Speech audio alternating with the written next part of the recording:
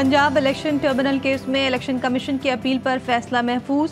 Supreme court ने election commission tribunal की notification जारी करने की इजाज़त दे दी।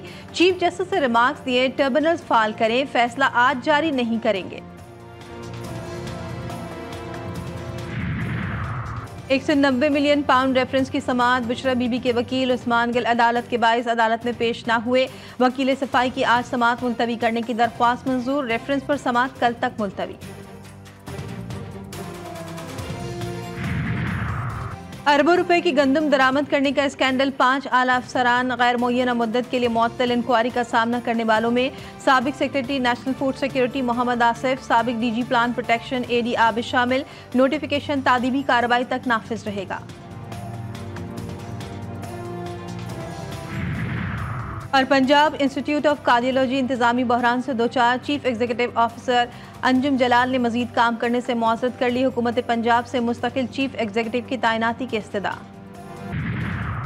अमीर जमात इस्लामी हाफिज नईमान कहते हैं आई पी पी को छूट मिली हुई। मुल्क में बेरोजगारी बढ़ रही है। हक दो आवाम तहरीक नए मरहले में दाखिल हो गई। सात अक्टूबर के बाद मजामती तहरीक बन जाएगी। बिजली बिल अदा न करने का ऐलान। शहदाद कोट के कम्बा मोहल्ले में मुसल्ला अफराद की फायरिंग, बरोही बरादरी के दो सगे भाई जाबहक मुलजिमान फरार, पुलिस ने तलाश शुरू कर दी। और कराची में सदर एम्प्रेस मार्केट के करीब नौमान सेंटर में आतिशत की फायर ब्रिगेड की सात गाड़ियाँ आग बुझाने में मसरूफ। इमारत के बेसमेंट में दर्जनों गाड़ियाँ मौजूद हैं।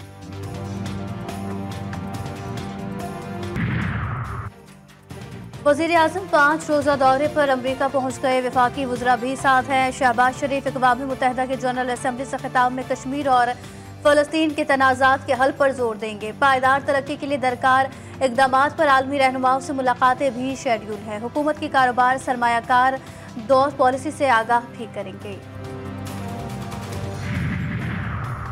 लाहौर हाईकोर्ट में सबक वजी पंजाब परवेज इलाही और दीगर के केस की समाज सरकारी वकील ने रिपोर्ट। अदालत में पेश कर दी। बताया कि परवेज इलाही का नाम, पासपोर्ट कंट्रोल लिस्ट और दीगर का नाम ईसीए लिस्ट से निकाल दिया गया।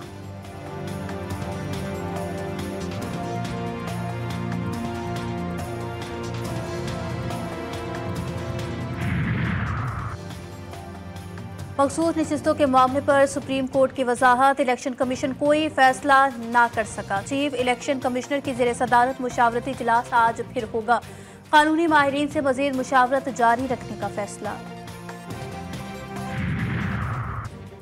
चीफ इलेक्शन कमिश्नर के खिलाफ आर्टिकल सिक्स के तहत मुकदमा दायर होना चाहिए मुशर इतलाक हैबर पखनख्वा बैरिस्टर सैफ कहते हैं, तफसीली फैसले के बाद इलेक्शन कमीशन के पास अगर मगर का कोई ऑप्शन बाकी नहीं रहता। आला अदलिया ने इलेक्शन कमीशन के यकम मार्च के फैसले को आइन से मुतसादिम करार दे दिया है। मजीद कहा, जाली हुकूमत का पी टी आई के खात्मे का ख्वाब कभी शर्मिंदा ताबीर न होगा। जो कौम का मुजरिम है, उनसे पूरा पूरा हिसाब लिया जाएगा।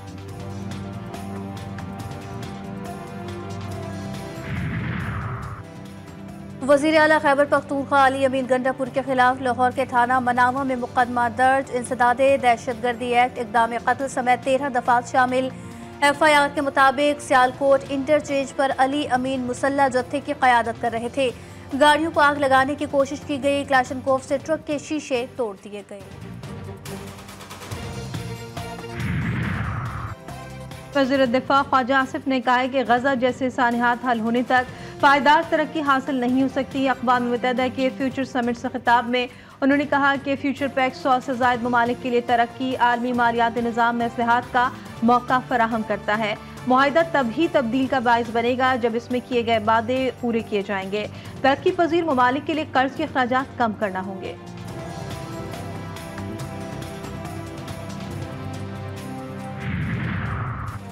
पाकिस्तान मशरक वस्ती में अमन का खाहा है। अतातारा ने इसराइल को फ़लस्तीन में नस्ल कुशी का जिम्मेदार करार दे दिया। कहते हैं, पाकिस्तान ने दहशत गर्दी के खिलाफ जंग में बहुत नुकसान उठाया है। दहशत गर्दों से कोई मुजाकरात नहीं होंगे। आई एफ़ के साथ मामला हतमी मराहल में पहुँच चुके। पाकिस्तान में महँगाई सिंगल डिजिट पर आ गई है।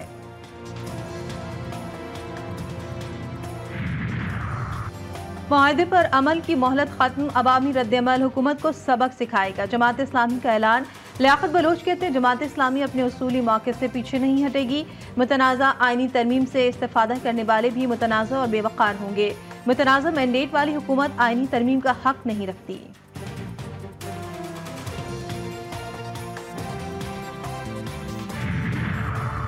खुर्रम एजेंसी मतहारिब ग्रुपों का मैदान है, जंग बन गया। चौथे रोज भी झड़पें दस अफराद जाम, बहक पच्चीस से जायद जख्मी। ज़िले में आमतौर बंद, मकामी अफराद को मुश्किल वज़ीर अला खैबर पख्तूनख्वा अली अमीन गंडापुर के तनाज़े के पुरअमन हल के लिए जरगा मुनद करने की हिदायत।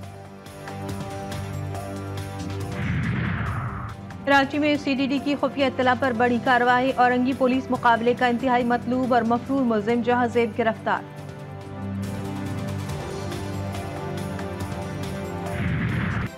Women's T twenty world cup का ऑफिशियल गाना मंजर आम पर आ गया। गाने में पॉप ग्रुप विश ने परफॉर्म किया है। वीडियो में women's T twenty world cup कई तारीखी लम्हात को भी शामिल रखा गया है।